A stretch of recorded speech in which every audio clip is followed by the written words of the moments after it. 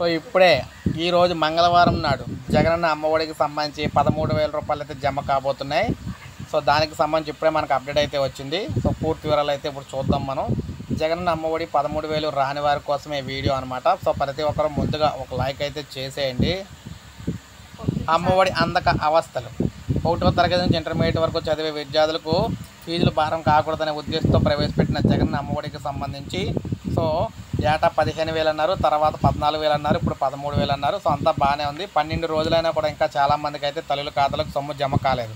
గత సంవత్సరం మీద నొక్ అంటే మేట నొక్కిన మూడు రోజుల్లో సొమ్ము జమ అయింది. ఈ సంవత్సరం ఎప్పుడు జమ అవుతుందో తెలియని పరిస్థితి. సకాలంలో సొమ్ము రాకపోవడంతో తల్లిదండ్రులు అవసరం పడుతున్నారు. పాఠశాల తెరిచే సమయానికి అమ్మఒడి వస్తుందని పిల్లలు పిల్లలకు పుస్తకాలు ఫీజులు ఏకరూప దశలు కొనేలా తల్లిదండ్రులు ప్రణాళిక చేసుకోవచ్చు అన్నారు పాఠశాల తెరిచి దాదాపు నెల రోజులు అవుతుంది. ప్రైవేట్ విద్యా సంస్థలు ప్రభుత్వం నిర్ణయించిన ఫీజుల కంటే అధికంగా వసూలు అయితే చేస్తున్నారన్నమాట.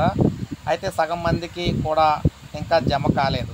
అయితే మరి ఈరోజు ఎందుకంటే ఈరోజు పదమూడో తారీఖు అంటే మనకి క్షమించాలి ఈరోజు మంగళవారం నాడు మంగళవారం నాడు మ్యాక్సిమం ఒక రెండు లక్షల మందికి అయితే జమ చేస్తామని చెప్పేసి చెప్పడం అయితే జరిగిందనమాట.